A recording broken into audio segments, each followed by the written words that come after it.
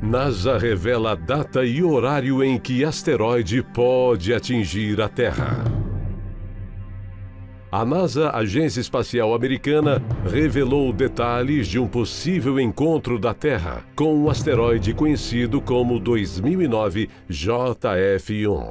O corpo rochoso com mais de 130 metros e força de mais de 250 mil toneladas poderá atingir o planeta no dia 6 de maio de 2022, às 5 horas e 12 minutos. Os cálculos foram feitos por cientistas da NASA, responsáveis por detectar e acompanhar a trajetória de novos corpos celestes, identificando seu grau de risco para o planeta.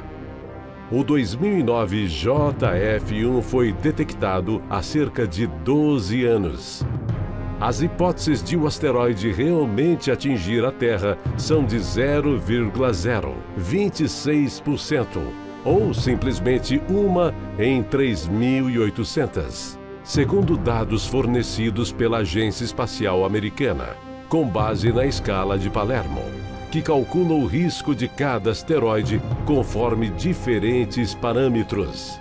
Pela rota, não é possível saber o local exato em que o asteroide irá cair. O 2009 JF1 está na categoria de objetos próximos à Terra. O termo refere-se a qualquer objeto, como asteroides, em que sua órbita está próxima à Terra. Este corpo rochoso, que deve passar a 45 milhões de quilômetros da Terra, as observações de 2009 foram remedidas, reduzindo consideravelmente as chances de impacto. Estima-se que tenha mais de 130 metros de diâmetro.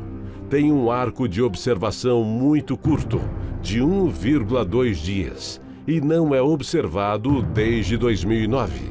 Em 6 de maio de 2022, espera-se nominalmente que esteja a 30 milhões de quilômetros da Terra mas tem uma região de incerteza de mais ou menos 23 milhões de quilômetros, com uma classificação de escala Palermo de menos 4,41.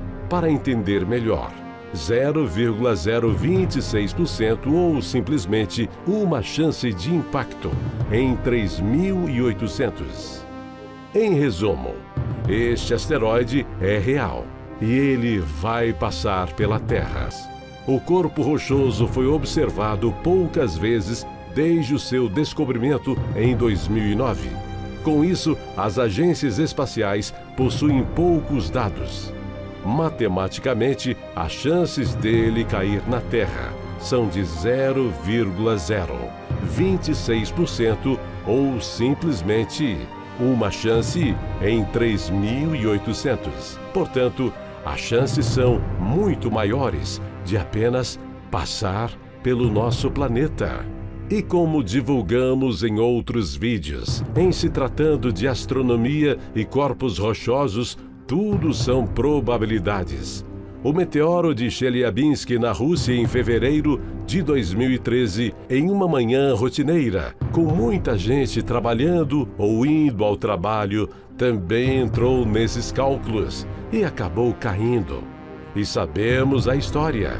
E também o de Tunguska, também na Rússia, em 1908. A queda provocou uma grande explosão, devastando uma área de milhares de quilômetros quadrados a grande cratera e de evidências diretas do objeto que teria causado a explosão levou a uma grande quantidade de teorias especulatórias sobre a causa do evento naquele momento.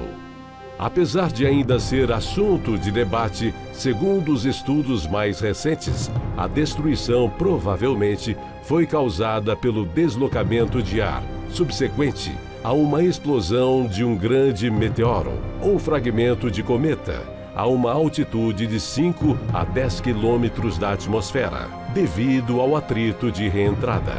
Diferentes estudos resultaram em estimativas para o tamanho do objeto variando em torno de algumas dezenas de metros. Estima-se que a energia da explosão está entre 5 megatons e 30 megatons de TNT, com 10 e 15 megatons sendo o mais provável. Isso é aproximadamente mil vezes a bomba lançada em Hiroshima na Segunda Guerra Mundial. A explosão teria sido suficiente para destruir uma grande área metropolitana.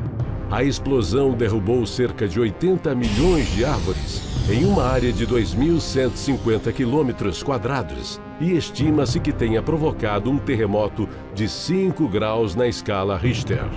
Apesar de ser considerado o maior impacto terrestre na história recente da Terra, impactos de intensidade similar em regiões remotas teriam passados despercebidos antes do advento do monitoramento global por satélite nas décadas de 1960 e 1970. Isso está na história recente da humanidade.